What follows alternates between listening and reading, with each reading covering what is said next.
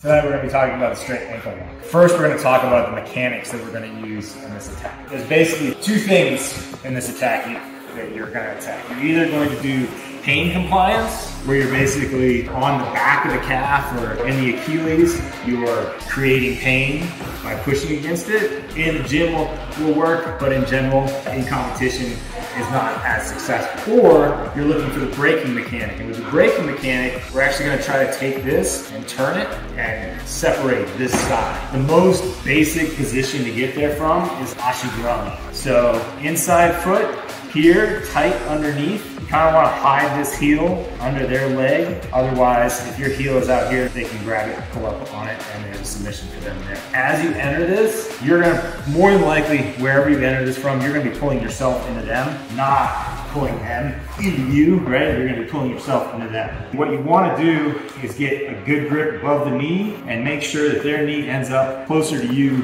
than your knees. Then you wanna grip with your knees. You get this heel into their hip. You want to feel their hip bone, and then you want your foot going straight up their side.